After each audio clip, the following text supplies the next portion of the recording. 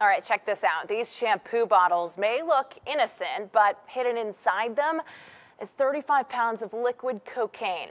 That's a street value of more than $400,000. U.S. Customs and Border Protection officers seized them from checked luggage in a Houston airport. The agency said the would be smuggler was a 26 year old Colombian citizen who will be sent back to his country.